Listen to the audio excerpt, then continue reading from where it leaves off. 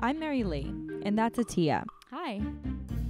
And we both have siblings with autism. Well, autism spectrum disorder, or ASD, and we don't know what that is.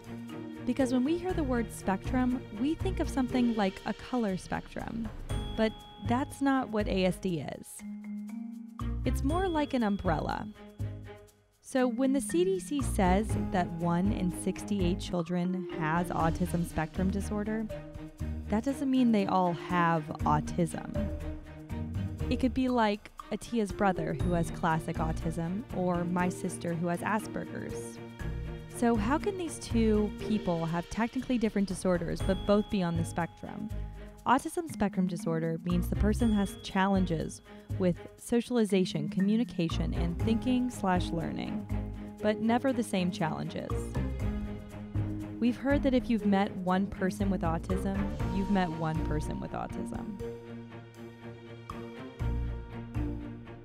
So we decided to try to meet a few and figure out what this whole spectrum business is about.